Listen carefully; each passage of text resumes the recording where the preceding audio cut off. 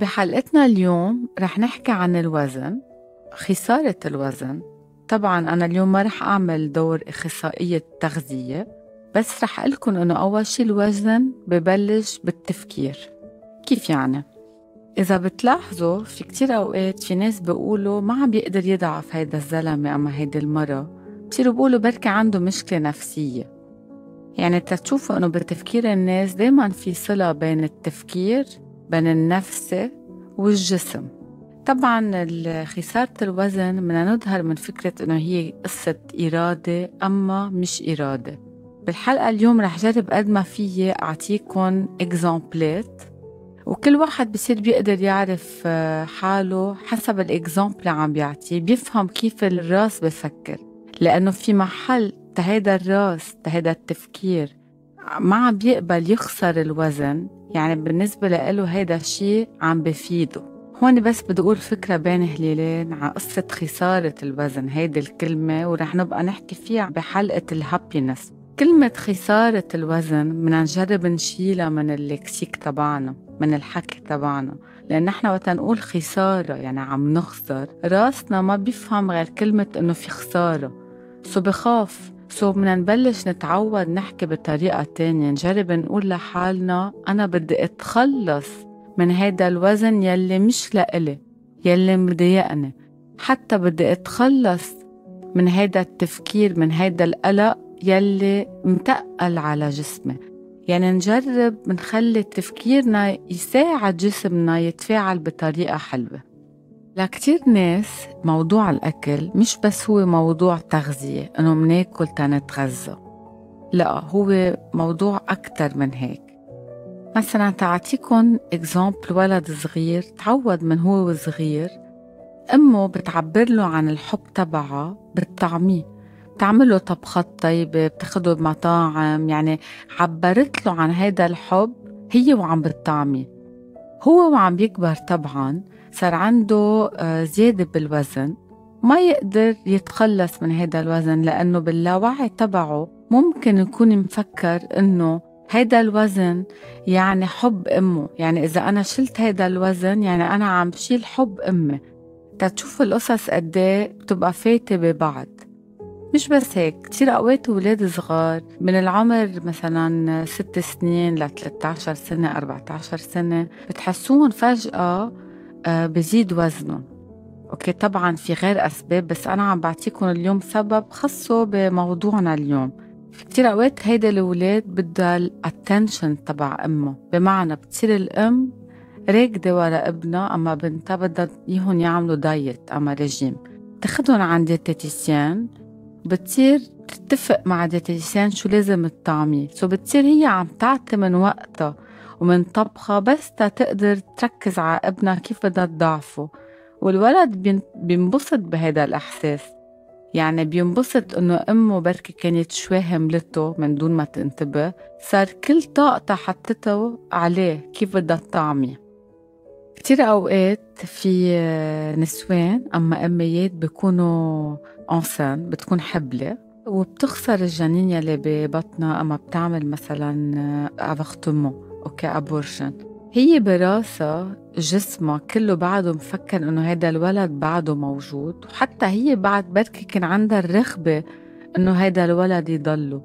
مش هيك كتير أوقات بتضلها عايشة السيمتومات تبع الغصاص وجسمها وبطنها خاصة بضلوا عم يكبر. هون كمان تتشوف إنه هي منا علاقة أكل قد ما إنه هي قد إيه بعدها مأثرة بهذا الحبل. هيك كتير أوقات إذا بتلاحظوا بتصير في مواقف حرجة. يعني بيكون في ناس بيشوفوا مدام بيقولوا لها شو أي شهر اسم الله؟ بتكون هي منا حبلة بس عاملة نفخة الحبل يلي هي كانت مبنية عن يا أما رغبة إنه تحبل وما عم تحبل. أوكي مش هيك بركي جسمها بعبر عنها يا أما بتكون خسرانة ولد كان عبالها إنه يضلوا هيدا الولد معه. في كتير أوقات في بنات OK بكون صاير معهم مثل viol أما abus sexuel أما تحرش جنسي. بتحسوا بعمر معين بصيروا بخبوا جسمهم بخبوا كل شي معقول يعمل إغراء للتاني. so شو الوسيلة تبعهم؟ بصيروا بينصحوا بخبوا هيدا الجسم بخبوا كل شي partie intime sexuelle بخبوها بنصاحة بزيادة أكل.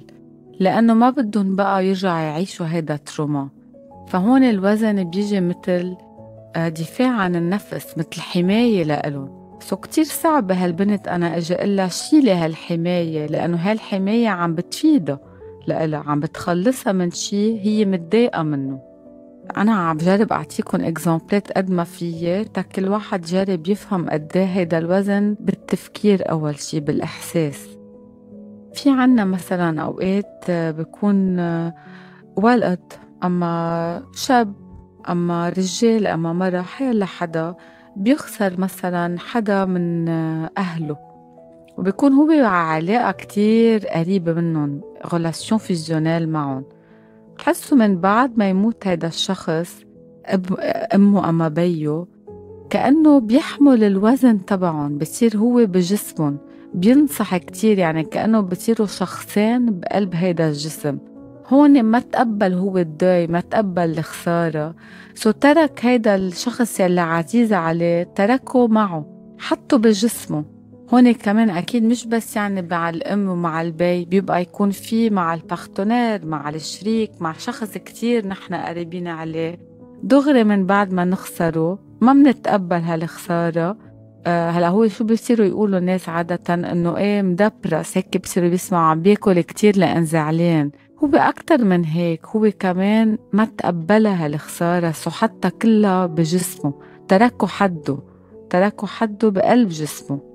بعرف حدا كمان هيدا exemple حلو آه بعاني من ال ostéoporose. OK يعني كل ما يوقع بفوت على المستشفى بيتكسر كله سوا. so رأسه فكر إنه جسمه بحاجة لزيادة fat لزيادة أكل لزيادة شحم ووزن تيحمي حاله تيحمي هذا العظم الرقيق. so لا شعوريا أما باللاوعي تبعه شاف حاله عم بينصح بس تيحمي حاله من ما إنه يرجع يتكسر. هون تتشوفوا قد إيه بعدنا بهالعلاقة القريبة بين التفكير وبين نحن شو عم نعيشه. يعني ما معقولة نحن الراس تبعنا والتفكير تبعنا يشتغل ضدنا. مش ليك لازم كل واحد منا جرب يفكر هو شو خايف يخسر. ليه مع باله يشيل هيدا الوزن؟ من شو حميه هيدا الوزن؟ وفي شغلة كمان هون بدي فوت بال... بالتفكير الإيجابي إذا بدكم. خلينا نقول نحن قررنا عن جد بدنا نشيل وزن ونحن تصالحنا مع كل هالأفكار اللي أنا حكيت عنهم هلأ. فينا كمان لازم نبلش نعيش الحالة يلي نحن بدنا نوصل لها. يعني on doit visualiser نقدر نشوف حالنا باللي نحن الجسم اللي عبالنا نكون فيه. يعني ما نضلنا تركين التياب الكبار علينا. ما نضلنا فاتين بذات الروتين. يعني بدنا نساعد حالنا. طبعا أول شيء بالتفكير مثل ما نحن اليوم عملنا. تاني شيء نجرب نغير تيابنا. آه نغير ظهراتنا ما يكونوا بس ظهرات فيها أكل. يعني أنا هون عم جرب أعطيكم tips صغار. طبعا مع كيف نحن قدرنا نفكر على حالنا ليه نحن بهيدي الموقع. آخر فكرة عبالي شوي ضوي عليها إنه الأكل نحن مثل ما كنا حكين بالحلقات اللي قبل عن ال boulimie وال anorexia هي علاقة control سيطرة و perte de contrôle اليوم بدي لكم شي بالعالم بال... بالنهارات اللي عم نكون عايشينهم. كتير أوقات بنكون عم نعمل contrôle لكتير قصص. لا الولاد لا الشغل لا المصروف لا الحكيم. يعني منضلنا كأنه مسيطرين على كل شي. لدرجة إنه المحل الوحيد يلي منعمل perte de contrôle فيه بكون هالأوقات يلي نحن قاعدين فيهم عم ناكل عم نغنج حالنا مثل ما منقول. so نحن بدنا نجرب نلاقي شوية balance يعني ما كتير نزيد على حالنا تقل لأنه جسمنا عم بيتعب. so عم بعبر لنا محلات إنه هون معلي رايحينا شوي هون. so بنصير بناكل بس تنريح حالنا.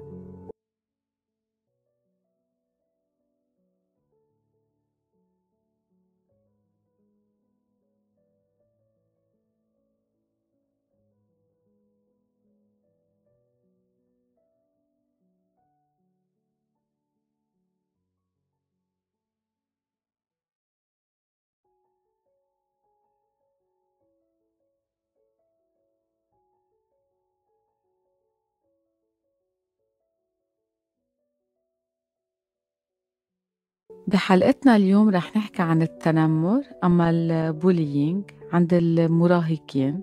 إذا بتسمحوا لي خلال هالحلقة رح سميه أنا bullying OK؟ so so, ليه أنا اهتميت بهذا الموضوع؟ لأنه هو مثل مثل ال cancer بنفكر إنه ما بصير غير للآخرين.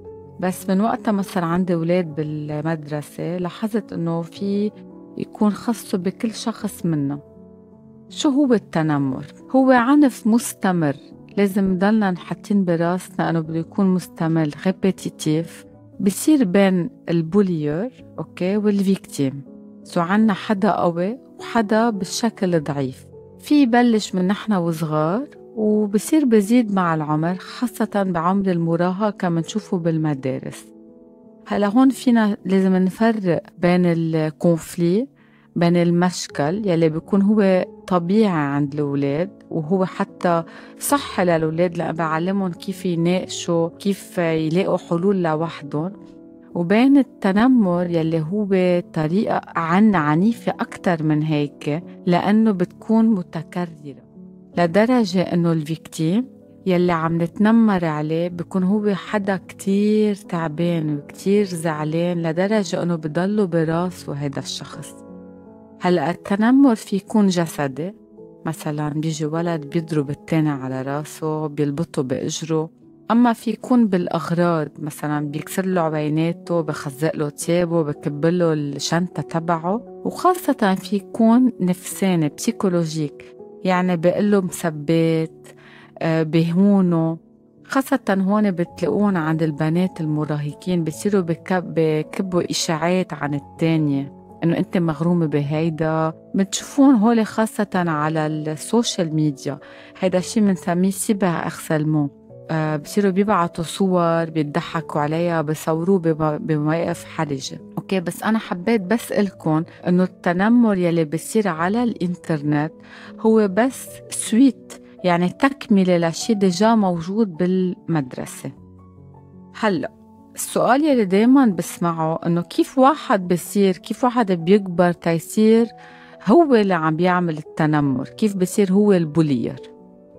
نحن بعلم النفس منفضل ما نحط تيترات okay؟ بالآخر منا ما في prototype منا نحن des robots إنه مثلا هيك بي وهيك أم بيعطوا هيك ولد okay؟ هي القصة أكتر complexe من هيك.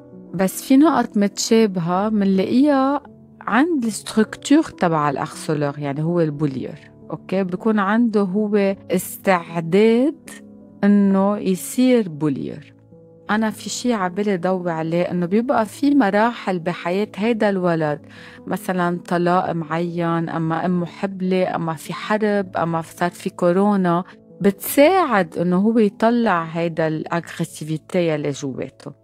بأول حلقة اليوم رح نحكي عن ال harceleur عن ال bullyer وبالحلقة اللي بعدها رح نحكي عن هال victime ورح نجرب نعطي حلول للمدارس وللأهل أول شيء مين هو هيدا ال harceleur؟ مين هيدا ال méchant loup؟ هيدا الشاب السئيل يلي هو رغم كل شيء كان bébé صغير innocent بعد بهال berceau مثل كل هيدا الأولاد كيف كبر تيصير عنده هيدا العنف كيف كبر وكيف وصل لهون؟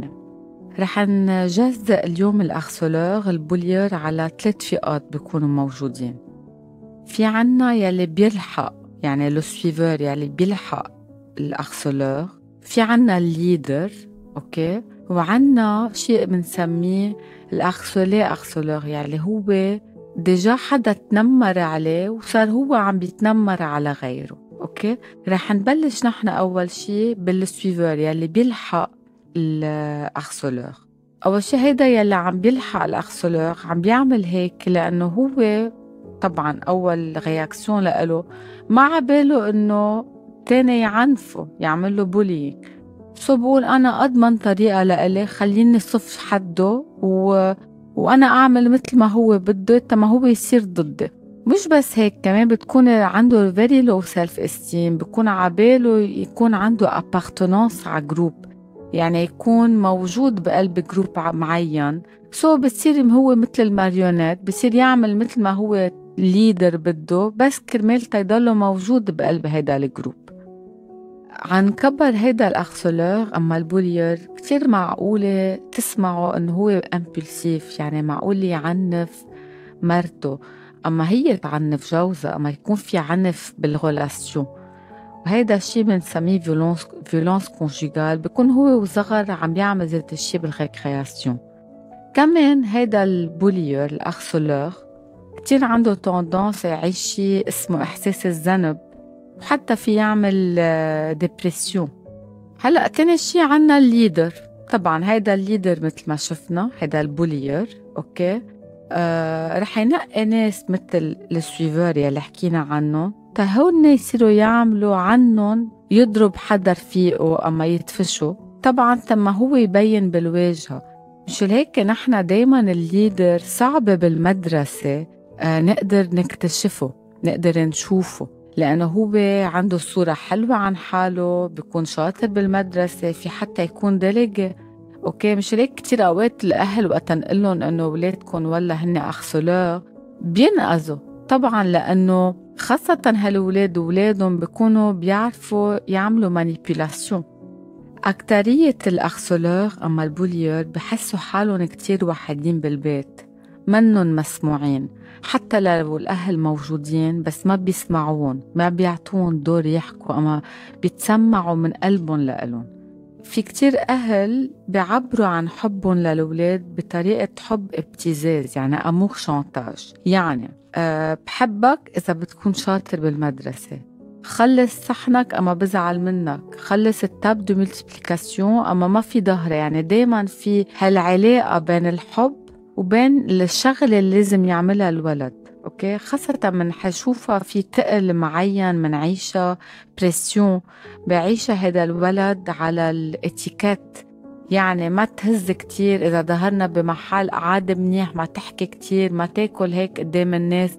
يعني في كتير قوانين في كتير lois في كتير pression وهيدا الولد بروح على المدرسة قد ما حامل هيدا ال lois قد ما حامل هيدا التقل مش قادر يعبرها غير بهالطريقة غير بهال agressivité وأكتر من هيك في كتير أهل من دون ما ينتبهوا بركي لأنه أهلهم هيك تصرفوا معهم.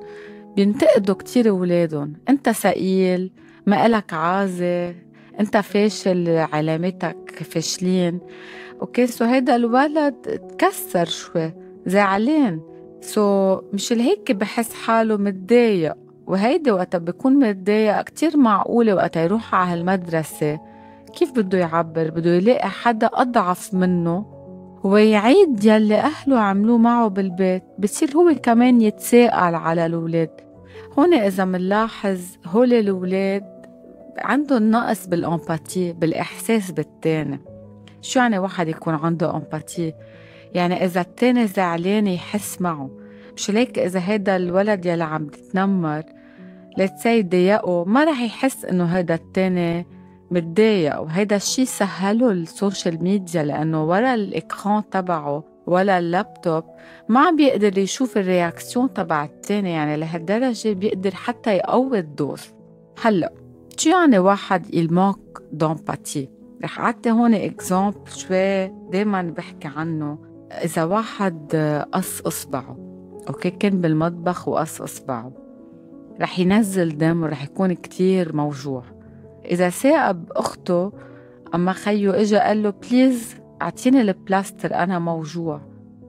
ما رح يقشع خيو ولا أخته ما رح يحس فيهم لأنه هو كتير موجوع لدرجة إنه باله بحاله. وهيدي هي ال empathie اللي ما بتكون موجودة عند ال bullyer أما بتكون موجودة بطريقة خفيفة لأنه هو حدا كتير موجوع. وهون أنا بدي أعزمكم تفكروا معي إنه هيدا ال bullyer نحن منشوفه هو دايما méchant بس هو victime من حاله. هو ضحية أفكاره ضحية وضع معين لأن بالآخر بعده ولد. وهون بدي شدد على الفكرة إنه أنا الموضوع اللي عم بحكيه اليوم خاصه بس بالولاد يلي تحت 18 سنة ما عم بحكي عن ال adultes. okay ليه عم بحكي عنه؟ لأن هول بعد في chance نقدر نساعدهم نقدر نغيرهم. كيف فينا نساعدهم؟ طبعا وقت نبلش نعلمهم يرجعوا يحسوا. وهون المدرسة عندها دور مهم تعملهم مثل jeux thérapie par l'art طبعا نحن حكينا مع الحلقة بالحلقة مع غنوة حكينا قد مهم ال théâtre لأن بخليه هو ياخد دور حدا يمثل دور حدا so بيقدر يحس معه يحس محل هيدا الدور. وهون كمان بدي أحكي شيء نحن كأهل معودين نعمله بركي كمان لأنه أهلنا كانوا يعملوه معنا. ليه هون عم بحكي الموضوع؟ لأ عم بحكي عن الأحاسيس عن ال émotions. عادة وقت الولد يرجع من المدرسة تصير الأم بتقله دايما سؤالات. مثلا شو عملت اليوم؟ شو أكلت؟ آه، مع مين حكيت؟ شو درستوا؟ دايما بضلها تسأله سؤالات خاصة بالفعل بالتودو قليل تسأله شو حسيت؟ كيف كان نهارك؟ انت شو حسيت؟ انت اشتقت لك؟ يعني ما منعود هالولد من هو وصغير to share the feeling نشارك الأحاسيس تبعنا. بركي في اللي خفت. حسيت حالي لوحدي تعبت بالمدرسة. يعني نحنا كتير منسلط الضوء على أنه أنت شو عملت. وهيدي نحنا كأهل اليوم أنا بدي ضوي عليها تننتبه لها. تننتبه ما نضلنا نعيدها مع أولادنا. هي أول خطوة. تاني خطوة كتير أوقات فينا نطلب من أولادنا يكونوا بيرفكسيونيست يعني أنا ليه عم خبركن هيك؟ تقلكن قد إيه فينا نحمل تقل لهالولاد وهيدا التقل عم بياخدوه معهم على المدرسة عم بكبوه بهالطريقة. يعني بتشوفوا الولاد بيرجعوا كمان من المدرسة. أنا هون عم بعطي exemple المدرسة لأن عم نحكي عن التنمر بالمدرسة. كل نهار قاعد هيدا الولد على هالكرسي عم بيدرس. درس درس درس. okay وقوانين بيرجع على البيت بده ياكل بسرعة بده يخلص درسه بسرعة بده يرجع يروح يعمل activité بتكون الأم عملت له اثنين ثلاثة activités بده ينام بكير يتعشى بكير لأن تاني نهار عنده مدرسة. يعني شوفوا قد إيه بيكون بس ماشي بال to do ركض ركض. يعني كله بالفعل. مننسى أوقات ناخد pause معهم ونحكي feeling نعبر عن ال feeling نضحك معهم نتسلى معهم. أنا عم جرب أعطي أفكار شوي هيك هينة بس طبعا إذا شوي شوي كل يوم عملناهن فينا نساعد هيدا الولد يشيل تقل تقل محملينه إياه. مثل ما قلنا فإذا الأخ هو رح يعنف معقول ولاده وولاده رح يكونوا يا هن مثل أهلهم يعملوا رح يرجعوا يعيدوا ذات الشيما هون نحن حكينا عنهم اللي harceleurs harceleurs يلي هن عم بعيدوا هال traumatisme من دون ما يفهموا ليه. ليه؟ هن ما عندهم motivation واضحة ليه عم بيعملوا هيك شي. هن بس عم بعيدوا شي موجود عندهم إياه بالبيت. okay؟ هيدي بنسميها بال psychologie identification على يعني هو بيعمل مثل ال harceleur تبعه بيقلده. ليه بقلده؟ ما بيعرف. بيعمل هيك لأنه هيك انعمل معه.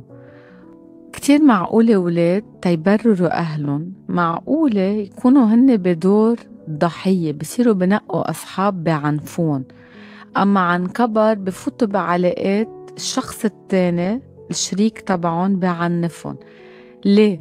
مش لأنه هن بس معودين على هالموديل بس باللاوعي تبعهم عم ببرروا أهلهم. إنه أنا ما معقولة أهلي يلي خلفوني هن الوحيدين اللي هيك. بصير ببررهم بيقول لحاله كل الناس هيك مش بس أهلي okay؟ هون طبعا أنا هون عم بحكي عم بحكي عن الضحية وهيدا الشيء رح نرجع نشوفه بالحلقة الثانية فإذا مثل ما شفنا بحلقتنا اليوم اكتشفنا أنه كتير أوقات ال harcèlement ال bullying ببلش بالبيت. بس كمان مش بس بين الأهل يعني الولاد مع أهلهم فيها تكون بين الإخوة كمان.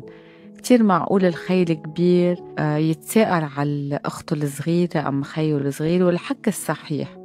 وهون دور الأهل يحطوا ليميت يعرفوا يحضنوا ولادهم يساعدون يعبروا عن الغيرة بغير طريقة من ما تكون طريقة عنف. فشو بصير هيدا الولد؟ بصير بعبر okay بعبر عن إحساسه هو وعم بيضرب التاني لأنه هو بيكون متضايق غيران حاسس بإحساس منه حلو وما تعلم يعبره بالحكي قدام أهله إنه هو بركي يكون غيران من خيه اما من أخته. so كبر على هذا الموديل كبر إنه هو بعبر بالضرب. so بعيد ذات الموديل بالمدرسة كمان بعنف أصحابه. بس أنا قبل ما نخلص حلقتنا أول جزء لليوم أنا بس حبيت ضوي اليوم على فكرة إنه ال harceleur وال abuseur وال victime تبعه يعني ال bullyer مع الضحية تبعه هي منا علاقة بكون ال abuseur فوق وال victime تحت. لا هي أكتر من هيك هي على ذات المستوى اثنيناتهم موجوعين. يعني الأخسولور هو كمان فيكتيم من يلي عم بعيشه. هو نتيجة وضع معين ونحن فينا نساعده.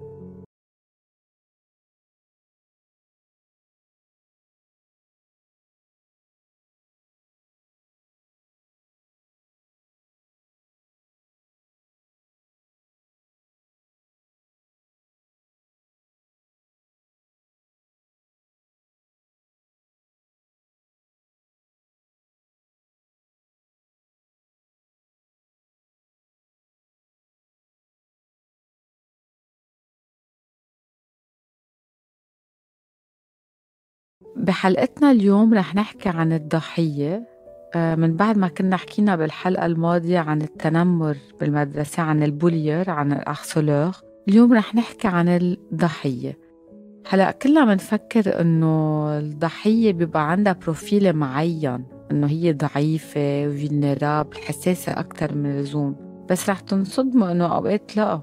هيدي الضحية فيها تكون كتير حلوة وكتير ذكية وكتير شاطرة بالمدرسة بس هي عندها شي الأخسولوغ ما عنده إياه. يعني بيكون في حاسس إنه هو عنده هالنقص بشوف هذا الشخص التاني عنده كل شيء سو بقرر يهده يحطمه يعمل له تنمر.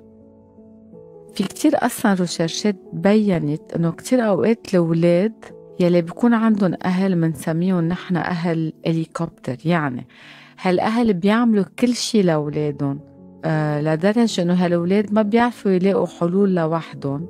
so, هالولاد بيتعودوا إنه دايما أهلهم تلاقي لهم الحل. بطلوا يعرفوا يتجاوبوا أما بيطلوا يعرفوا يتعاملوا قدامك وقت يكون في مشكل. كتير معقول يكون عندهم chance إنه يعيشوا تنمر.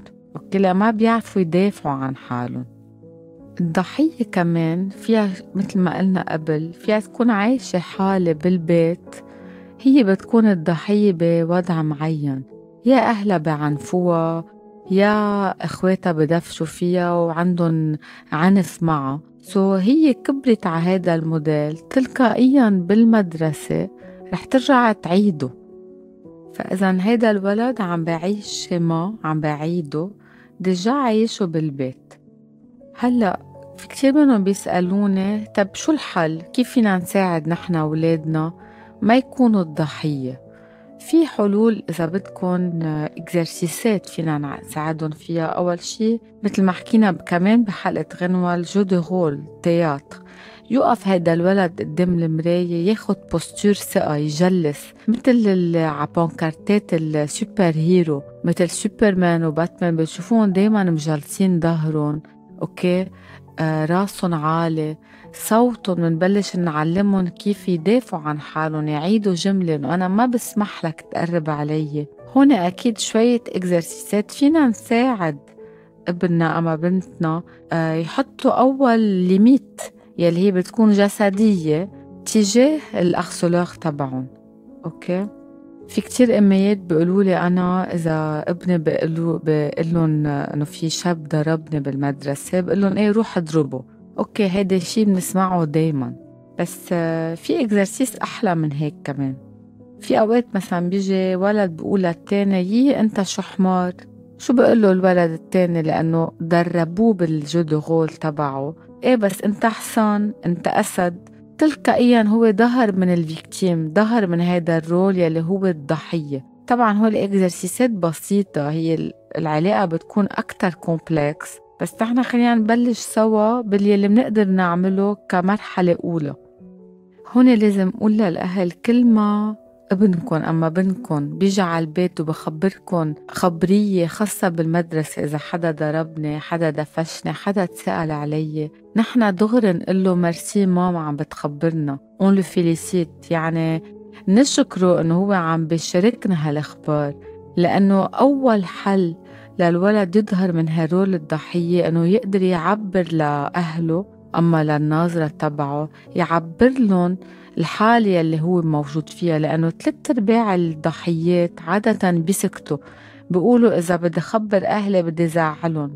أما إذا بدي خبر الناظر أما السورفيون بركي يخبروا للأخسولوغ وهيدا الأخسولوغ يصير يعنفوا أكتر. so بفضلوا يضلون ساكتين. طبعا في des lois qui protègent يعني في قوانين في punition معينين. موجودة بالمدرسة موجودة بالدولة بتمنع وبتقاصص إنه يعني عم بيتنمر يرجع يعيد التنمر على ال victime يعني بتقاصصه. بس هيدا منه الحل الأول هيدا آخر حل. منيح إنه هو موجود بس أنا اليوم بدي أعزمكم تفكروا بغير طريقة. مثل ما فكرنا مثل ما شفنا نحن سوا إنه الاخسولوغ نحن فينا نساعده. لازم نبلش من البيت. كل واحد منا أهل. أما كل واحد بيعرف أهل عنده أولاد شايفه هو شوي أخسولوغ يبلشوا يفكروا شو عم بعيشوا هالولاد بالبيت. هل في تنمر عندهم بالبيت؟ في جو في صراع في عنف؟ هل الولد تبعنا خايف؟ محملين له أكتر من ما بيقدر؟ عاملين له حاطين له كتير في كتير قوانين عليه. دروس اشتغل يعني بدنا نبلش من البيت تبعنا okay؟ لأنه كل ما نبلش نحن بال cercle الصغير تبعنا كل ما رح نساعد ابننا أما بنتنا. هيدا أول شي. تاني شي كمان مثل ما حكينا الأهل يلي كتير بيعملوا كل شي عن ولادهم كمان بدهم يبلشوا يحملوهم مسؤولية. تيبلشوا هن يعرفوا يدافعوا عن حالهم يقووا ثقتهم بحالهم. الكلمات لمنعو اللي منقولها نحن لأولادنا يلي من دون ما نعرف منحطم فيهم. لأنه هيك أهلنا قالولنا أنت حمار ما بتدرس أما أنت فاشل. هو الكلمات ننتبه لهم لأنه بكسروا من الولد. دايما نفصل الحب عن شو بيعملوا الولد. أنا ما حبيت يلي أنت تصرفته بس أنا بحبك لإلك. ننتبه دايما نفرقهم عن بعض. وهون كمان بدي أتوجه للمدرسة لأنه هي اسمها أخسلمون سكولير تنمر بالمدرسة. وأنا بسمع منيح كلمة مدرسة هون سكولير. يعني المدرسة عندها دور كتير مهم تلعبه مع هول الأولاد بالآخر هن عم بقضوا ثلاث أرباع وقتهم بالمدرسة. وهالمدرسة فيها هي تصلح موديل معين موجود بالبيت. كيف فيها تعمل هيدي المدرسة؟ أنا بعزم المدارس يزيدوا أكتر كرات théâtre. الولاد يعبروا عن أحاسيسهم يلعبوا دور يتسلوا يعني يطلعوا هالطاقة غير إنه بال récré يضربوا يطلعوا هالطاقة غير محل يطلعوها ب sublimation يطلعوها بال... بال théâtre okay؟ لأنه هن وقتا يلعبوا دور حدا تاني بصيروا neutre تجاه حالهم بيقدروا بكل سهولة يعبروا عن أحاسيسهم. اللي بيكونوا مش معودين يعبروها وآخر شي بالنسبة للمدرسة كمان إذا بتلاحظوا دايما بالمدارس في ال proviseur يلي هو مثل ال papa symbolique يلي بحط la loi القانون. بس القانون هو مش بس كرمال تيقاصص القانون هو كمان تيحمي. c'est une loi qui protège et qui punit okay؟ فأنا بعزم ال proviseur بعزم المسؤول يلي هو عنده حتى فيها تكون مسؤولة بس مهم يكون عندها دور symbolique من السلطة من ال pouvoir okay؟ تعمل اجتماعات أكتر مع التلاميذ تبعها. تحسسهم إنه هن إيد وحده إنه هن community وحده إنه هن صورة المجتمع عن كبر. يعني يجربوا يكونوا équipe يشتغلوا ك équipe ما يكون في إنه عنا السلطة والتلاميذ والقصاص. لأن هون déjà هو ظاهر من بيت كله قوانين وقصص وهالمدرسة زيادة عن هيك عم بتقصصه. إذا حس إنه هاي المدرسة هي عائلة لإله إنه هو أكيد بقلبه أكيد معقول يخف هال agressivité ومعقول يصير عنده ثقة أكتر ال victime يخبر البابا يلي هو رح يسمعه. فإذا مثل ما شفنا ال bullying هو مش بس خصه بس بالولد مش يعني إذا نحن قصصناه قدرنا نلاقي حل. في شغل لازم تعمله المدرسة طبعا وكمان لازم الأهل. كل الأهل يجربوا يساعدوا أولادهم. أما يرجع يفكروا منيح بكيف هن عم بيتصرفوا مع أولادهم. ليه هن وصلوا على محل أولادهم يكونوا harceleurs أما victime طبعا أنا ما عم بحمل ذنب الأهل بس عم بدعيهم اليوم يفكروا أكتر يسألوا حالهم se mettre en question لأنه وقت واحد بيوعى على الشغلة بيقدر يخففها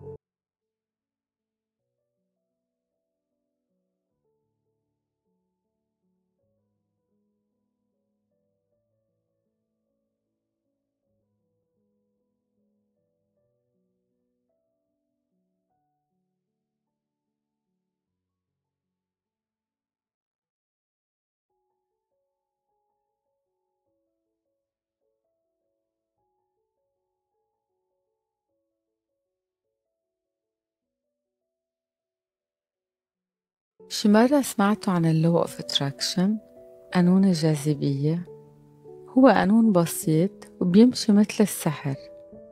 بيعتبر هالقانون إذا بدك شي معين بحياتك بتجذبه مثل المغناطيس. حلو ما هيك؟ يعني كل شي بتطلبه من قلبك وبعواطفك وبأحاسيسك. كل شي بدك إياه بقوة ترغبه من قلبك فيك تحصل عليه. أفكارنا هن بينعكسوا على الواقع تبعنا. What we think we become. قانون حلو وسهل وأنا اليوم رح ساعدكم تطبقوه. بس أول شي بدي إياكم تركزوا معي. وترجعوا تسمعوا هالحلقة عدة مرات تتصيروا تطبقوه بطريقة أحسن. لأنه هالقانون كتير بده تركيز والتركيز بده رواق. مشان هيك أول مرحلة بدنا نروق حالنا جرب نقعد بمحل هادي. ما في شي يلهيكن ولا تليفون ولا ضجة. نعزلوا من العالم يلي حواليكن حتى نعزلوا عن أفكاركن. أصلا شوفوا قديه في ضجة بتفكيركن قديه أفكاركن فايتة ببعض. تنفسوا منيح من قلبكن جربوا بطئوا التنفس تبعكن وركزوا على أفكاركن. ليه عم بعيد كتير كلمة أفكار؟ لأنه أهم شي بهالقانون هو أفكاركن. نحن ما بنعرف نسيطر عليهم هن مسيطرين علينا. ما في حارس لأفكارنا كل شي منفكره منصدقه. فكرة فيها تزعلنا وفكرة فيها تبسطنا. لدرجة أوقات إذا بتوعوا من النوم وحلمانين حلم بشع فيكن تحسوا حالكم متضايقين رغم إنه هو حلم. يعني فكرة منا بالواقع. هون بس تتشوفوا قد في صلة بين أفكارنا أحاسيسنا والواقع تبعنا. فإذا أساس هالقانون هو أفكاركن هو سلاحكن تتجذبوا لإلكن يلي بدكن ياه تنبلش سوا. بدي اياكم تكتبوا على ورقة الهدف يلي بدكن ياه شو بتتمنوا؟ طلب واحد. شو عبالكن تحققوا هدف بحياتكن شي بدكن ياه من قلبكن رجعوا اكتبوا بوضوح ايمتن بدكن تحصلوا عليه. التاريخ. شو لازم تعطوا من نفسكن ووقتكن وطاقتكن تتوصلوا على هالهدف. طلبكن بده يكون واضح. كل ما تحطوا ديتاي تفاصيل فيه كل ما أحسن. يعني جربوا ما تقولوا أنا بدي أصير غني. لأ. قولوا أنا بدي يصير معي مبلغ معين بفترة معينة وبدي أحط طاقتي وتركيزي مثلا بالشغل بمعارفي أو بالجامعة. هون كل واحد بحط هو شو بده. بس انتبهوا منيح ما فينا نقول أنا ما بدي ضلني فقير أنا ما بدي ضلني ناصح ما بدي ضلني أعزب لا. بدكم تقولوا شو بدكم مش شو ما بدكم. ما فيكم تبعتوا mixed signal لراسكم. لأن رأسكن ما بيفهم ما بيفرق بضيع قولوا له منيح شو بدكن. كمان تأعطيكن example إذا قلتوا أنا بدي أخسر وزن بدي أضعف. رأسكن سمع خسارة ضعف. ورأسكن ما بحب يخسر ولا يضعف. لا بدكم تقولوا أنا بدي أتخلص من هالوزن يلي مش لإلي. بدي أتحرر من هيدا الشحم يعني بديكم to focus on what you want. شوا دي مو تنقية الكلمات كتير مهمة بهالقانون؟ لأنه راسكن بيسمع الكلمة مثل ما هي. رح أعطيكم example بعطيه دايما هو example ال singe السعدان إذا أنا هلأ بقلكن ما تفكروا بالسعدان راسكن بس عم بفكر بالسعدان مش هيك عم بقلكن ما فينا نقول أنا ما بدي. بدي أقول أنا شو بدي. يعني أتخيل الصورة يلي أنا بدي أوصل له. وأكتر من هيك فيكم تستعملوا كلمات بتقوي بتحمس. مثلا أنا بدي أصير نشيط powerful fit full of energy. فهمتوا الفرق؟ كل ما كلماتكم بتقوي فيها اندفاع ونشاط. كل ما واضحة كل ما أحسن. كل ما هدفكم صرتوا ترغبوا توصلوا له. الحلو بهالقانون إنه ما ضروري تحطوا بلان ما ضروري تحطوا إتابات معينة لتوصلوا على هدفكم. لأنه بدكم تقتنعوا إنه الكون كله رح يزبط لكم البلان والأوبورتونيتي المطلوبة تتحقق حلمكم. انتو بس عليكم تطلبوا بوضوح. هالطلب يلي كتبتوه بوضوح؟ بدي إياكم تعدوه على صوت عالي كل يوم الصبح. بس توعوا. وكل يوم عشية قبل ما تناموا. بدكم تعطوه من وقتكم. فيكن كمان هالجملة تلزقوها على تابلو قدامكم بمحل تشوفوه كل يوم يعني نظركم يشوفوا كل يوم وتزيدوا عليه صور بتحمس أو جمل بتحمس. هيك نظركم بدكم تدربوه كمان يتعود على هدفكم. رح أقلكن شي بعد. هدفكم تيصير أقوى. أحسن توصلوا بهدف له قيمة له معنى وجداني مش بس هدف ملموس matériel. مثلا طالما كنا عم نحكي عن الجسم الحلو إذا واحد بده يوصل على جسم أحلامه في يقول كمان أنا بدي صير inspiration بدي صير واحد لكل حدا ما عم بيعرف يوصل لهدفه. شوفوا هون قديه حلمه صار قوي. في أنا يقول أنا بدي برهن للناس اللي حوالي إنه أنا عندي القدرة. أو إذا حدا طلب بصير معه مبلغ معين من المصاري. في زيد كمان. أنا بدي أربح مثلا X amount مصاري لأنه أنا بدي يكون inspiration بدي يصير موديل نجاح لكل شركة أو مؤسسة. يصيروا هالشركات ياخدوا مني الوحي يسألوني كيف أنا وصلت على النجاح. so جربوا اربطوا هدفكم بهدف له قيمة معنوية كمان. قولوا إنه انتو بدكم تعملوا منيح لغيركم كمان. هالقد هدفكم منيح لإلكن وللغير بدكم بلشوا من اليوم تآمنوا بال power of your mind بقوة تفكيركم. بدكم بلشوا تتذاكوا على راسكم. تحسسوه وتقنعوه إنه هدفكم صار حقيقة. كيف يعني؟ بدكم تحسوا الإيموشن يلي رح تعيشوها بس توصل على هدفكم قبل ما هالهدف يصير بالواقع. You have to trick your mind يعني تتذاكوا على راسكم. لدرجة حتى تغيروا الواقع تبعكم. يعني يلي بده يصير وزنه 60 كيلو هو هلأ 90 كيلو. ما في يترك تيابه يلي هلأ عم بيلبسها ويقول إنه أنا بس أوصل على وزني ببقى بشتري تياب صغار. لا بده يبلش من هلأ يشتري تياب أصغر. كمان رح أعطي example تاني يلي عم تجرب تحبل وما عم تقدر تحبل. إذا هي ببيتها منا مجهزة أوضة لل bébé مثلا أوضة ال bébé هلأ عملتها أوضة sport. وبتقول أنا بس أحبل بجهز الأوضة بجيب البرسو بغيرها بجهزها. هون لا بدي أقول إنه بدك من هلأ تشيلي كل هالأغراض للجيم أما هيدا العفش اللي حاطتيه وتجهزي هالأوضة كأنه البيبي صار بالواقع كأنه صار حقيقة. يعني بدكم تهيلوا الشغل على حالكم. فإذا جهزنا الإسباس تبعنا وكمان بدي إياكم ترجعوا تركزوا على خيالكم على الإيماجيناسيون تبعكم. تتصوروا حالكم كيف صرتوا وقت هدفكن صار واقع. يعني تقشعوا حالكن كيف رح تكونوا بس توصلوا على اللي بدكن إياه. الخيال بيرتكز على نظرنا. كيف نحن منشوف حالنا بس نوصل على هدفنا. بس كمان بيرتكز على أحاسيسنا. يعني بديكم تشوفوا وتعيشوا حالكم بهالمرحلة يلي انتو بدكن إياها. هون بدنا نشغل خيالنا أكتر. لازم نطلب بأحاسيسنا ونتخيل إنه طلبنا صار ملك لإلنا. هون لاحظوا إحساسكم كيف غير إحساسكم صار حلو بس وقت تخيلتوا حالكم بهاللحظة.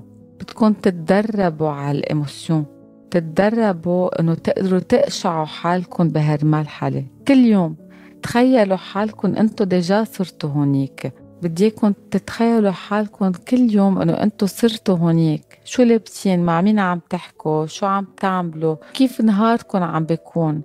كل ما أنا حس حالي بهاللحظة إنه صار معي اللي بدي إياه كل ما إحساسي رح يبعت طاقة وإنرجي حلوة وجذابة للكون كل ما هالإنرجي رح ترجع لي.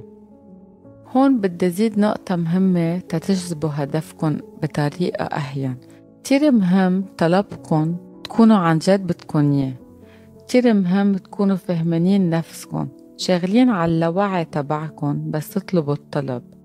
يعني إذا في خوف أو إذا في إحساس بالذنب أما إذا في اكسبيرينس قديمة مخوفتنا نرجع نوصل على هدفنا. صعبة أنا بالأساس كون عن جد بدي هيدا الطلب. يعني بدي أقول أنا عن جد بدي أما خايفة من شي. مثلا أنا خايف أشتغل كتير وأعمل مصاري كتير لأنه خايف بطل شوف عائلتي وولادي يعني هون إحساس الذنب بدنا نشيله. مش هيك بدي إياكم تفكروا منيح بالطلب اللي بدكم إياه وبالقصص يلي عم بتوقفكم توصلوا على هيدا الطلب. هون بأفهم نفسك. حكينا عن اللاوعي مثلا البنت يلي بدها تتجوز وما عم بتلاقي عريس لأنه باللاوعي تبعها خايفة تترك أمها. أمها عايشة لوحدها. أما مثلا المرة يلي بدها تحبل وما عم تحبل لأنه أمها وقت حبلت فيها جوزها تركها. سو هي خايفة تعيد تاريخ جوزها. طبعا هيدا الحكي حكينا عنه باللاوعي كل ما نحن تصالحنا مع اللاوعي تبعنا كل ما طلبنا بصير أقوى. طلب محرر من كل الماضي من كل الخوف من كل الإحساس بالذنب. هون من بعد ما نتصالح مع اللاوعي تبعنا بدنا نقول إنه نحن صرنا شخص جديد. إنه أنا جديد أنا قوي أنا ما في شي رح يوقفني. لازم كل يوم نعيد لحالنا إنه نحن منستاهل هيدا الطلب. وهون تتشوف قد إيه ال auto-suggestion إنه واحد يعيد لحاله كل يوم طلبه وكل يوم إنه هو بيستاهل وإنه هو كل يوم أحسن من اليوم يلي قبله. يعطي لحاله كلمات منيحة يسمعن كل يوم يعيدن لحاله كتير أساسية تيقدر يدعم حاله يآمن بحاله. آخر شي بس أهم شي لازم نكون grateful نكون ممتنين. نقول مرسي من قلبنا لكل شي عنا إياه. حتى إذا بتقولوا لي أنا ما عندي شي بقلكن مبلا نبشوا. لأن حتى أنتو عم بتنبشوا يعني أنتو بدكن تقولوا مرسي لحالكم بدكن تقولوا مرسي لهالكون حتى فيكن تقولوا المرسي للناس اللي حواليكم. فيكم تقولوا ميرسي للأبسط الأمور اللي عندكم إياها. تمرنوا تقولوا ميرسي لإلكن وللناس اللي حواليكن أكتر من هيك تمرنوا على الضحكة تمرنوا تضحكوا للناس وتضحكوا لإلكن تضحكوا لروحكن. ليه عم بقلكن أنا هالقصص؟ واحد تو بي grateful واحد يضحك يكون عنده بسمة على وجهه. لأنه راسكن وتفكيركن كله صار نضيف بطاقة إيجابية. سهلتوا عليه جذب هدفكن. إحساسكن وتفكيركن رح يفهم إنه في ضحكة إنه في شكر. so رح يعطيكن قصص تضحكولن ورح يعطيكن قصص أكتر تكونوا ممنونين لإله. نحن حلقتنا خلصت بس رح أعمل مثل résumé سريع عن قانون الجاذبية. مثل ما قلنا هيدا القانون بده تركيز بده رواق بدنا نعمل méditation بدنا نعيده كل يوم خمس دقايق الصبح خمس دقايق من عشية. طلبنا يكون واضح نقول شو بدنا. ما نقول شو ما بدنا نحط تاريخ. أي متى بدنا نوصل على هذا الهدف؟ شو الطاقة اللي بدنا نعطيها تنوصل لها ما نحط بلان نآمن إنه الكون رح يعطينا يلي نحنا منستاهله. نشتغل على اللاوعي تبعنا نتصالح معه نتحرر منه. نجرب نحط كلمات قوية فيها motivation تحمسنا نوصل على طلبنا. نتحوط بناس positifs نحن نكون positifs ونضحك للعالم ونكون ممنونين. نجرب نجهز ال espace حوالينا حتى بدنا نشتغل على الخيال تبعنا على ال imagination تبعنا. نتذاكى على راسنا إنه نحن déjà وصلنا على هدفنا.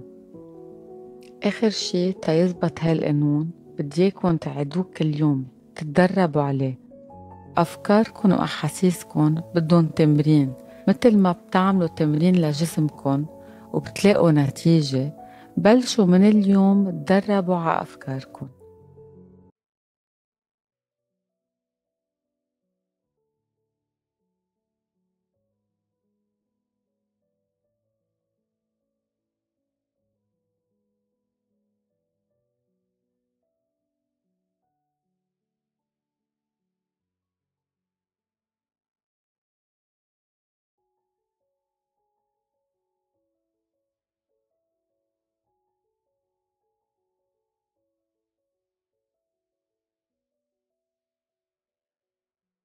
شو هي السعادة؟ شو لازم الواحد يعمل تيكون مبسوط؟ ليه بيقولوا سر السعادة رغم إنه هيدا الإحساس لازم يكون أساس كل حياتنا مش سر هيدا السر ما علمونا إياه ولا بالمدرسة ولا أهلنا هن وعم بيربونا بس ما فينا نلومن لأنه هن كمان ما حدا علمن طريق السعادة بحلقتنا اليوم رح نجرب نكتشف سوا شو هو هيدا السر؟ ورح جرب قد ما فيي أعطيكم تمارين لدماغكم تتحسوا أكتر بهالسعادة. بس أهم شي بدي أطلب منكم شغلة أساسية لأنه حتى لو التمرين بتعرفوا لازم تعدوه كل يوم تتمرنوا عليه كأنه سبار لدماغكم أو سبار لطريقة تفكيركم تهينا أكتر. اعتبروا حالكم إنه أنتو اليوم عم بتربوا بيبي صغير وهيدا البيبي هو أنتو. بدكن تعلموه وتعودوه من أول وجديد يعيش بسعادة. كيف بتربوه؟ خلينا نكتشف سوا. أول سر هو إنه هيدا السر منه سر. هو قرار. It's a choice. لأنه إذا الوقت الوحيد اللي بدكن تكونوا فيه مبسوطين هو بس وقت القصص تكون ماشية مثل ما انتو بدكن ما رح تكونوا دايما بحياتكم مبسوطين. مشان هيك كل واحد منا هلأ بهاللحظة بده ياخد قرار إنه هو بده يكون مبسوط بيستاهل يكون مبسوط. لو شو ما كانت الظروف لو شو ما كان وضعه المادي الاجتماعي بده ياخد قرار إنه سعادته أهم من كل شي لأنه سعادته مثل ما شفنا بحلقة قانون الجاذبية كمان رح تغير له واقعه لواقع حلو. فإذا السعادة هي قرار وأنا أكيد إنه أنتو اليوم كلكن رح تاخدوا هيدا القرار. رح أعطيكم exemple سريع. تبلشوا تطبقوا هيدا القرار. مثلا إذا صار في حادثة منا منيحة حواليكن okay؟ دماغنا معود يزعل يدبرس ينعزل حتى أوقات في يأذي حاله. طب أنا من اليوم بدي أخد القرار إنه إذا صار في حادثة بشعة حوالي بدي أزعل شوي خمس دقايق بس دغري بعدين بدي أقول لحالي أنا كيف في ترجم هيدي الحادثة بطريقة إيجابية؟ هون القرار مهم لأنه بدي أدرب حالي لو شو ما صار أقلب ترجمة الأمور غيرها من بشعة لحلوة. مثلا إذا في ماما سخن ابنها عمل حرارة أربعين تنهار الأم بتقول أنا ماني مبسوطة من وين لقت هالفيروس؟ شو هالبلد يلي كله فيروسات؟ بتصير بتفوت بمونولوج دراما وبشع. هدفه بس يأذيها هون إذا هيدي الماما اخدة قرار تكون سعيدة رغم كل شي بدها تجرب تحول نظرتها لسخونة ابنها لشي حلو لشي شوي أحسن من ما هي حسته. طبعا هيدا الشي منه سهل. أوكي؟ وبده تمرين.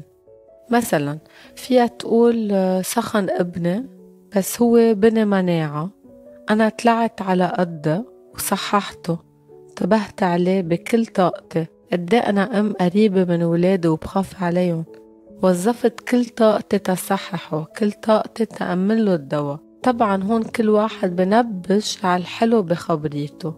برجع بكرر هيدا القرار بده تمرين منه سهل. والتمرين هو نبش على الإفادة بالخبرية على الحلو بكل شي عم بعيشه.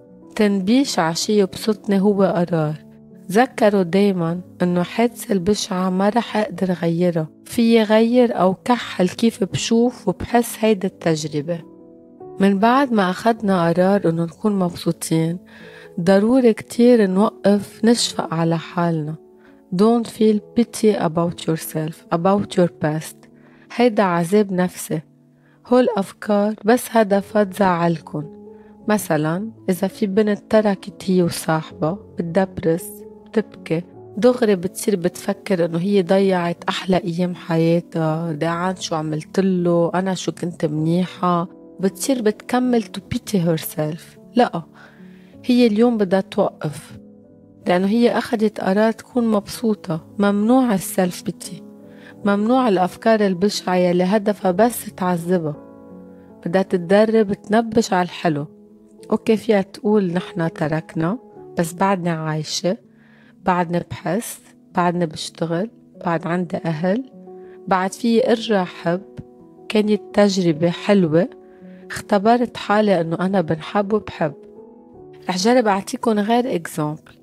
إذا حدا انسرق بصير هو بفوت بالسلف بيتي بقول أنا حرام وبخبر الكون كله تيشفق عليه. بصير هو شفقان على حاله. ما معي مصاري كيف بدي أدفع؟ كيف بدي أعمل مصاري؟ بفوت بدوامة عذاب النفس. لا إذا هو اخد قرار يكون مبسوط بقول أنا انسرقت بس تعلمت انتبه أكتر. طلعت مصاري أول مرة بقدر طلعهم تاني مرة. طبعا كل واحد هون بنبش على الحلو بهالخبرية. تنرجع نعيد أول ثلاث أفكار للسعادة. أول شي واحد بده ياخد القرار تاني شي ممنوع يشفق على حاله تالت شي بده يتدرب إنه يقشعل منيح بكل تجربة. رابع شي شو بده يعمل؟ بده يتدرب على الامتنان to be grateful. بده يقول لحاله الحياة هدية إنه هو هدية. كتير مهم نقدر اللي عنا ونشكر حالنا والناس اللي حوالينا على كل شي عم بيصير معنا وعنا إياه. إحساس كتير حلو واحد يشكر حاله وينبسط باللي عنده. تخبركن شي أوقات بس نروح على مطعم وبتطلع الفاتورة كتير غالية. منصير مننق يا الله شو دفعنا؟ يا الله شو غالي هالمطعم؟ لا نحنا بدنا نقول هون ستوب لأن نحنا أخدنا قرار نكون مبسوطين. بدنا ننبش على اللي بسطنا بهالقعدة. ونكون ممنونين إنه أكلنا إنه ظهرنا مع بعض. إنه اكتشفنا طعمات جداد. لأنه السؤال صريح قديه نحنا معودين النق قديه بحياتنا معودين كل يوم النق مثلا ما عم أضعف ما عم لاقي شغل بضلوا ساخن ابني جوزي ما برد علي حظي بشع الأكل ما كان طيب. النق هو عكس الامتنان والإحساس اللي بينبع من النق بشع ما فيه سعادة. سو بدنا نتدرب يا أما ننتبه إنه نحن قديه عم ننق ونصير نخفف شوي شوي. فإذا رابع سر هو الامتنان وتا نصير نعمل امتنان أكتر بحياتنا بدنا نخفف النق خامس سر أو تطبيق للسعادة هو إنه السعادة بدها تكون غاتويت ببلاش. ما في شي مقابل شي. نحن دايما لازم ننطر شي تيصير معنا تنكون مبسوطين. عدو السعادة هو النطرة. نحن تعودنا ننطر شي نوصله أو نعمله تنكون مبسوطين. بديكن تكتبوا على ورقة شو السعادة لإلكن. كيف بتكونوا مبسوطين؟ أنا سألت هيدا السؤال لأكثر من 250 شخص. 90% عطوني جواب متوقع. ربينا عليه. ما تمرنا إلا عليه. مثلا صير غني اربح اللوتو اتجوز جيب ولاد انجح الفحص. حتى في حدا قال لي اكل وما انصح لاحظتوا الأجوبة؟ أجوبة بتدل إنه السعادة بدها هدف عندها سعر وفيها نطرة. إذا ما بتزبط أنا ماني مبسوط وبس أوصل على بدي إياه. إذا خسرته برجع بزعل. يعني تتشوفوا قد إيه هون حتى السعادة منا ببلاش فيها نطر ومؤقتة. طبعا أنا ما عم بنتقد بس عم فرجيكم واقع تعودنا نكبر عليه من نحن وصغار. طب بتقولوا لي كيف بدنا نغير هيدا النطرة؟ كيف بدنا نغير هيدا الواقع؟ في حلول. أول شي بدنا نتدرب نعيش اللحظة الحاضر. بدنا نتصالح مع الحاضر. كيف يعني؟ بدنا نجرب نبعد قد ما فينا عن فكرة الوقت الماضي أو المستقبل. الماضي إذا كان حلو منعيش نوستالجي منقول يا الله شو كانت أيام حلوة نحنا شو كنا منيح. وإذا الماضي كان بشع بصير منعيش إحساس الذنب أو منندم على شي عملناه أو منستحي بشي عاملينه.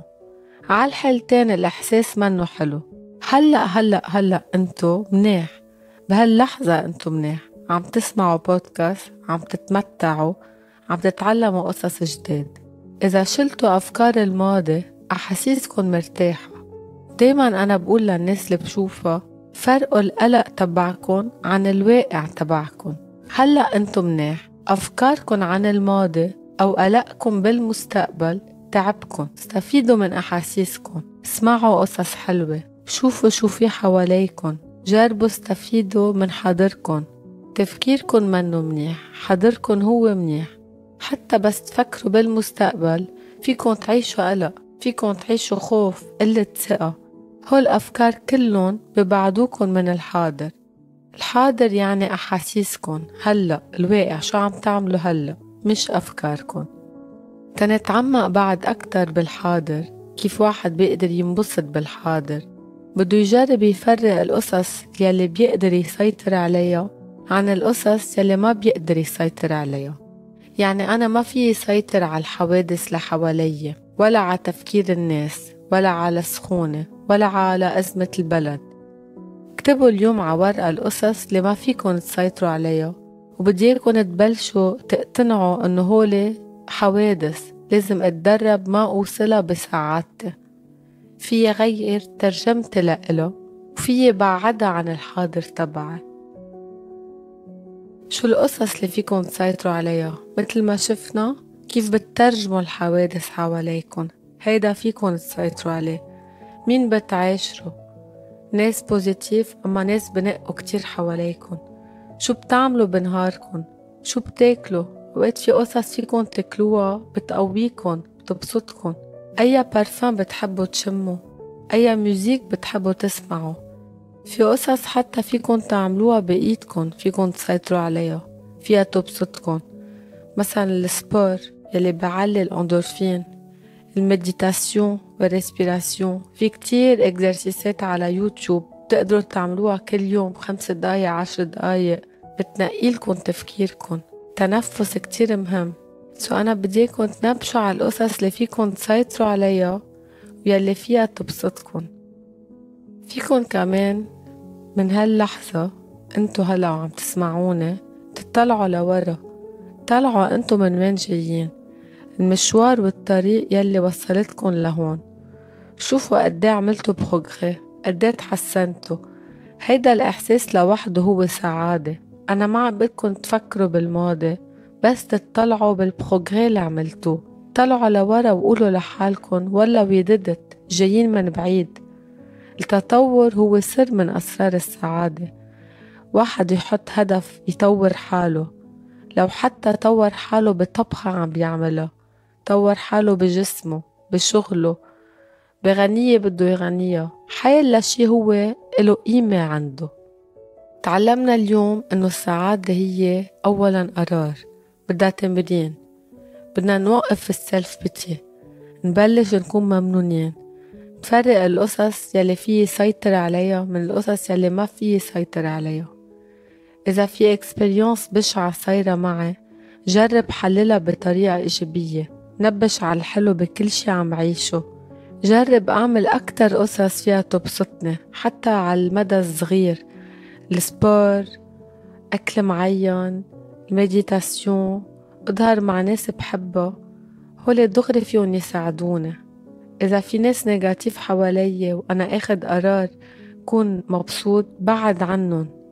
تفكير عن الماضي وعن المستقبل فيه يبعدني عن الحاضر. يعني فيه يعيشني بأفكار بتنتج عنا إحساس منه حلو. سو بدنا نتدرب نعيش اللحظة. بدي أنهي حلقة اليوم وقلكن إنه السعادة صحيح هي قرار. وكل شي خبرتكن إياه بنقدر نطبقه.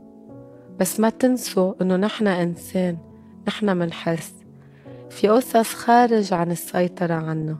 ما فينا نعتبر إنه سعادتنا رح تكون انتاكت إذا صارت. كل شي خصه بالموت خسارة حدا منحبه سخونة ولادنا سخونة حدا منحبه أو حدا من عائلتنا. نحنا بدنا نزعل. ما رح كذب عليكم وقلكن هون فيكن تكونوا مبسوطين.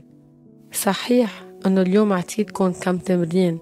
في يقربكن عن السعادة. بس نحنا قملة أحاسيس. نحنا منتعلق بولادنا وبالناس منحبن صعب ما نتأثر فيهم إذا هن سخنين أو إذا خسرناهم. هيدا الشي بده يكون ما تجربوا تغيروه بس تقبلوه كفكرة. تصالحوا مع هالفكرة. السعادة موجودة بس في أوقات بدنا نتقبل الزعل.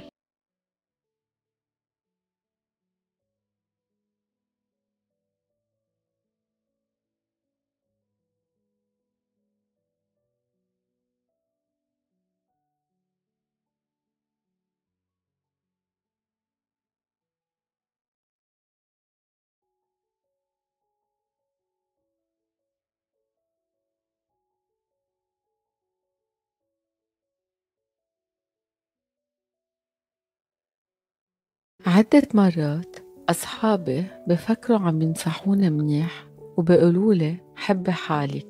أهم شي تحبي حالك love yourself. بنظري ومع احترامي لرأي الجميع هيدا الحب يلي مني لإلي. يعني أنا غنش حالي وحب حالي. صعب يكون موجود. صعب تطبيقه بالواقع. شعار حلو بس كيف الحب في يكون بيني وبين نفسي؟ على حسب ما بفهم. الحب بده أكتر من شخص بده روح تانية تحبها وتحبني بفهم إنه الحب يكون من ميلة وحدة يعني أنا حب حدا وما أنحب المقابل. بس كيف في يكون مكمل نفسه الحب؟ لازم نفرق بين أبسط حالي أو أعمل قصص بتبسطني من إنه حب حالي. ممكن كون عم أبسط حالي وقت أعمل قصص بحبها أو قصص بتطورني. بس هيدا الشي ما بيكفي تطبق شعار الحب بحالك لأنه إحساس الحب مختلف عن إحساس الفرح. الحب دفى طمأنينة. هو إحساس ما بينوصف. بنظري تحب حالي بدي أنحب. وما ضروري يكون هيدا الحب جاي من شريك حياتي. في حوط حالي بناس بقدروني ما بينتقدوني. الناس بينبسطوا بوجودي معهم.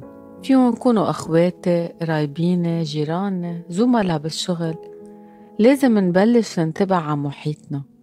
ما نستهتر فيه. بدي هيدا الآخر يقلي أنت بتنحبي يحسسني إنه أنا مهمة لإله. يعكس لي قدراتي أكيد كتير ناس رح ينتقدوني على فكرة ضرورة وجود الآخر بالحب. بس هيدا واقع. نحن عايشين بمجتمع. أحاسيسنا منشاركها منعطي حب تناخد حب. فكروا مع اليوم. هيدي الديناميك إنه الحب بده وجود الآخر بتخلق فينا من نحنا وصغار من أول ما نخلق حتى قبل من نحنا وببطن امنا عرفنا الحب أول مرة من خلال امنا حسينا بوجودنا من خلالها حبتنا اولا. عبرت عن حبها بعطائها يعني طعمتنا صحاحتنا بس كنا سخنين كبرتنا. إذا بدكن هي عيشتنا.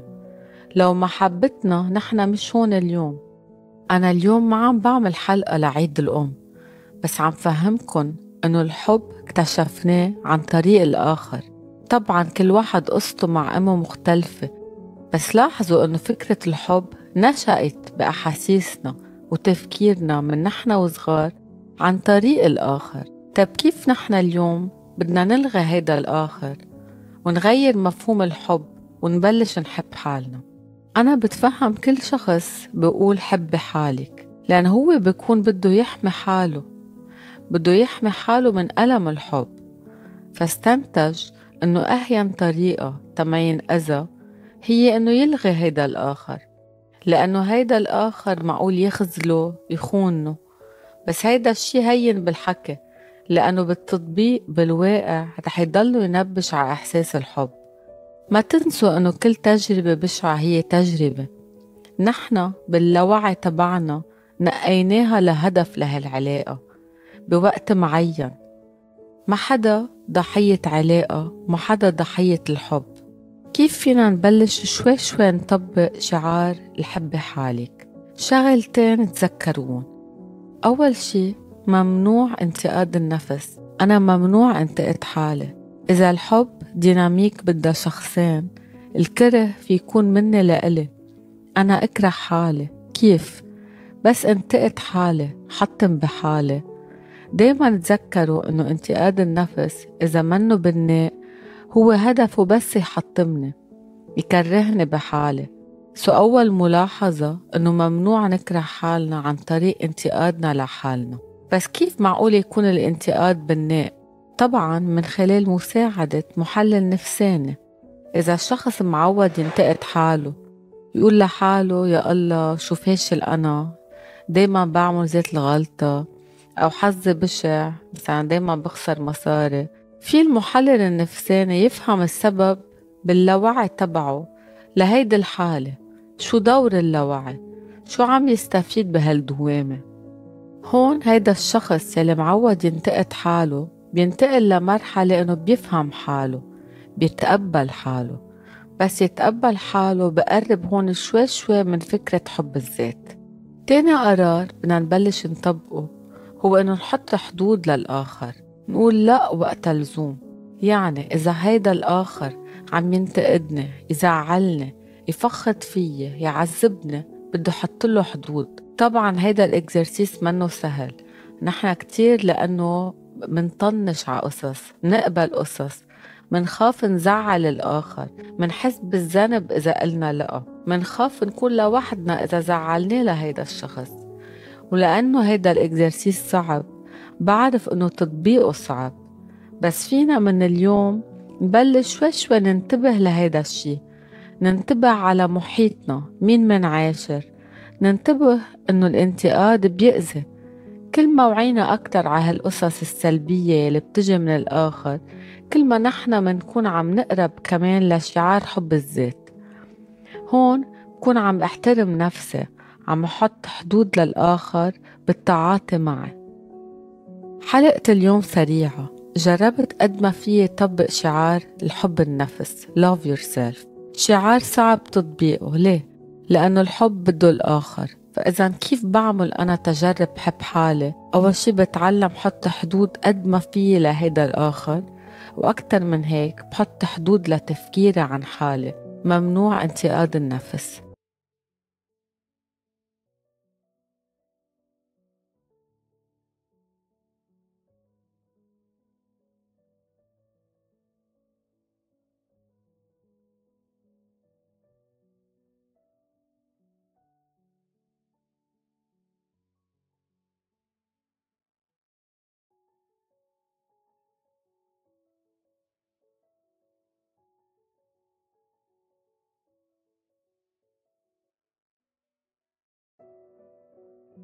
بحلقتنا اليوم رح نحكي عن أهمية اللاوعي تبع المرأة وعلاقته وتأثيره على الحبل.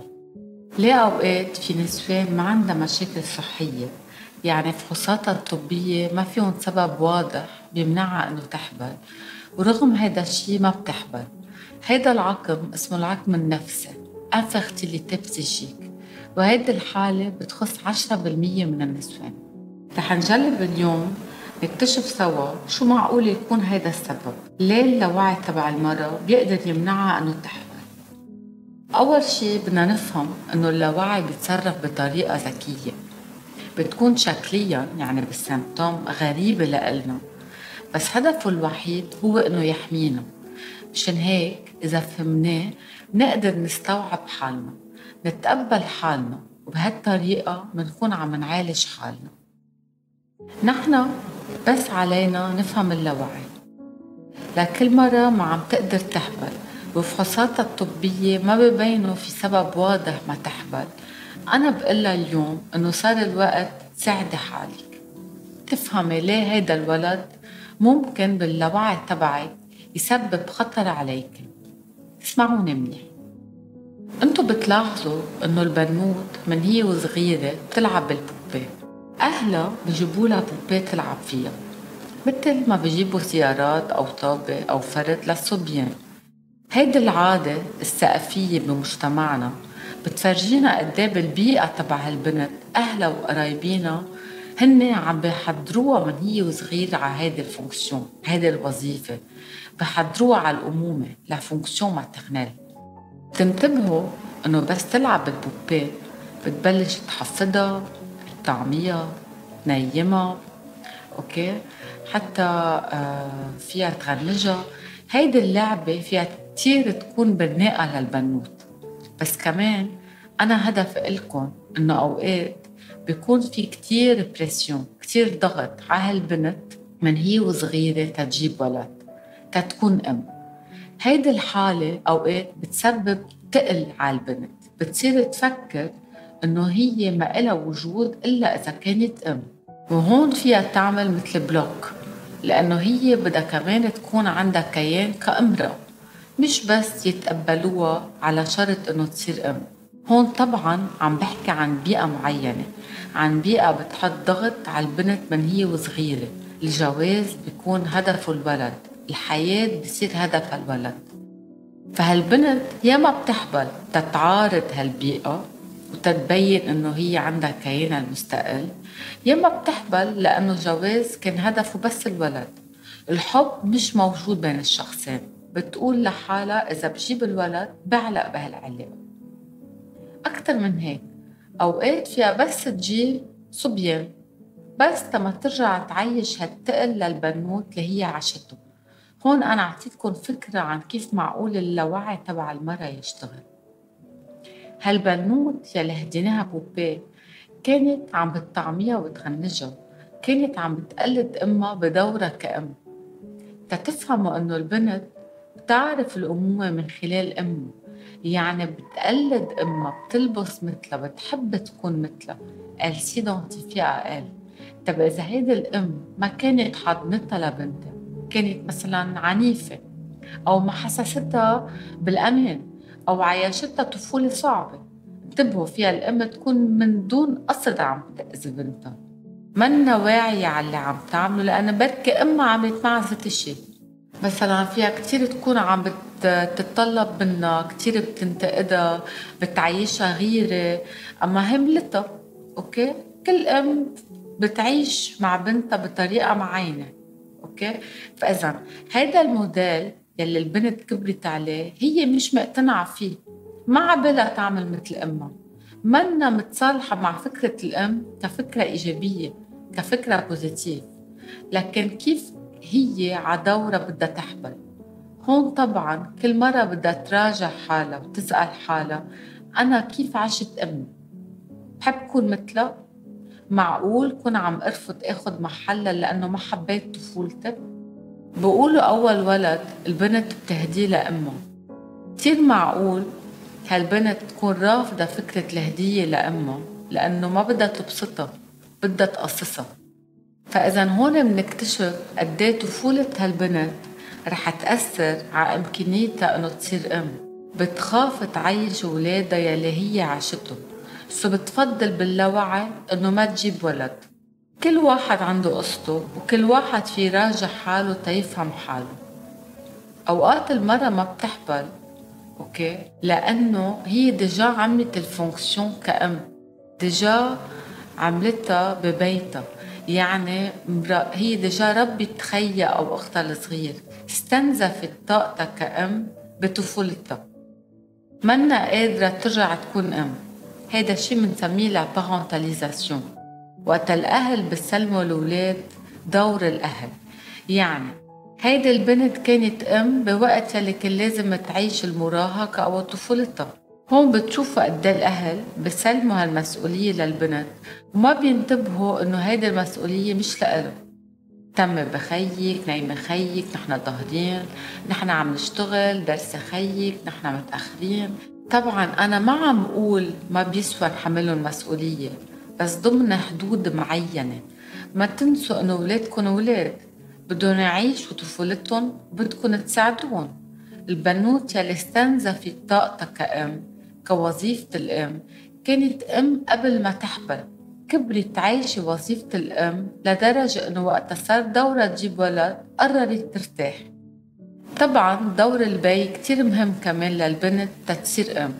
هيدا البي أول غرام للبنت مثل ما نحن بنعرف ال prince تبعها. إذا هي بتتمثل بأمها كأول مرحلة so بدها تنقي رجال مثل ما أمها نقته. بس إذا هيدا ال prince ما كان prince. إذا هيدا ال prince كان عنيف مع أمه أو pervers معها أو عنيف معها أو منه موجود. كيف بدها تتقبل تعيش ولادها يلي هي عاشتهم؟ أو حتى إذا هيدا البي أوقات بيكون رافض إنه بنته تكبر وتصير أم بده إياها تضلها بنته المدللة الزغطورة ضلها ببي. كيف هيدي البنت بدها تتخلص من هيدا الحبس يلي هي موجودة فيه باللاوعي تبعها؟ ما فيها تزعل بيا هون في إحساس الذنب. أو ما بدها تعيش ولادها يلي هي عايشته مع بيا. هون برجع بذكر إنه كل قصة بتختلف عن التانية بس اللاوعي واحد.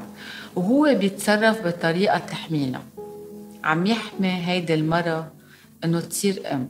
رح أعطيكم بعد كم exemple تتفهموا بعد أكتر. مثلا البي يلي ترك الأم بس هيدي الأم ولدت.